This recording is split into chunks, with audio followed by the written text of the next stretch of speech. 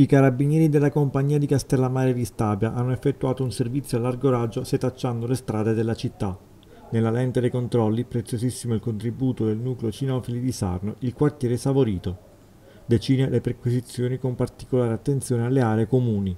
Attraverso Lattaro i carabinieri hanno perquisito l'intera area e lì sono stati controllati scooter e auto sospette. In una Mercedes intestata ad una società di noleggio sono stati rinvenuti e sequestrati due jammer, dispositivi utili per inibire le frequenze radio e un rivelatore di cimici e di sistemi di videosorveglianza. Nelle aree condominiali invece sono stati trovati più di 40 grammi di droga tra cocaina e marijuana. I servizi continueranno anche nei prossimi giorni.